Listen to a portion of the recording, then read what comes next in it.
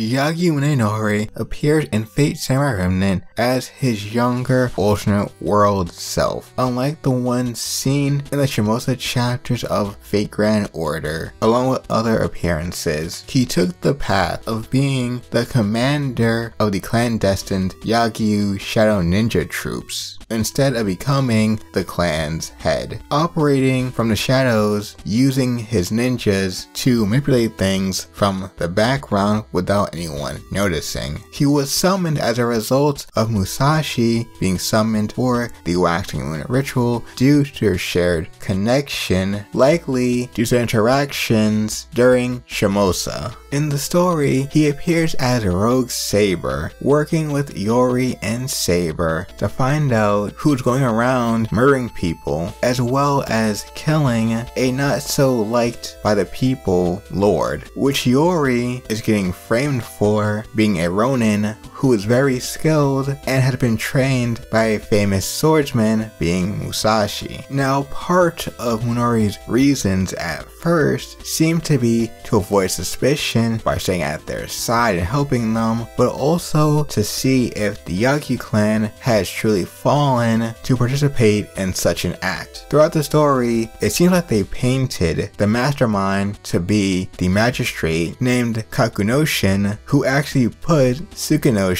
And later Iori on the case to figure out what's going on and stop it if possible. Throughout this little story, on two occasions, Rogue Berserker will appear and try to attack them, with Iori mentioning that Berserker probably means no harm to them, meaning him and Saber, not including Yagyu in this, foreshadowing something isn't right here with him. Eventually, they find the magistrate who has been killed after fulfilling his role by the actual culprit who he considers his lord, who is Yagyu's nephew, Yagyu Toshiyoshi from Owari, having come back to life as a wandering spirit using these shadow samurais to cause not just many murders, but also get in the way of Iori. But also, we later find out he does it to lure out his uncle to be able to fight him and prove his sword is the strongest. But at the end,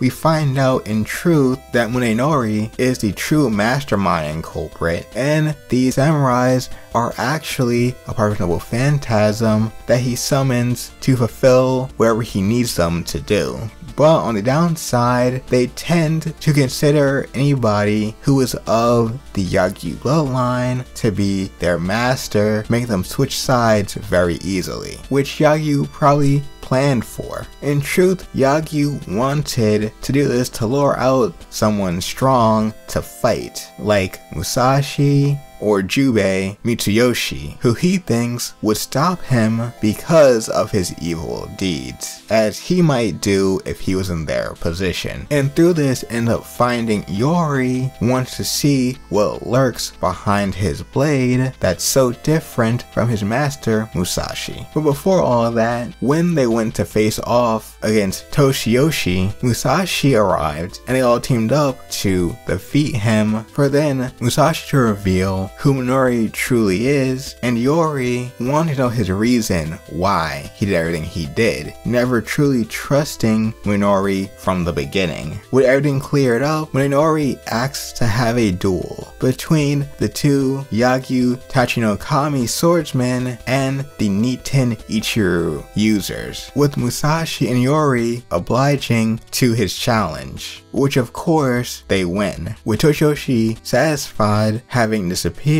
Yagyu slowly starts to disappear. And as the winning party walks off, he does mention that while he may have been defeated, there was another beast there, being Iori, which only make sense to you if you picked up the context clues or have seen a and ending. Watch my Iori video for that if you're really curious. The next day, Suganoshin appears that his name has been cleared and the whole situation had basically been thrown under the rug, treated as if it was just some gossip. Sukinoshun having gotten real chummy with Yagyu, having shown him around Yoshiwara prior in the story, he sets off to find a good tea house that Yagyu would like to go to. Which of course you would think would be in vain, but considering the post part of the story, because Yagyu to be available as a playable character for the main story, somehow his spirit origin stabilized, and thus he decided to join Iori and Saber, agreeing to a geas brought up by Iori because Saber wasn't sure if they could trust Yagyu to even be around. At Iori's level, this geas at best would make them drop their swords if they broke the conditions, not wanting to fight each other anymore. And Yagyu not being able to murder anymore, while not story relevant, he did end up teaching Iori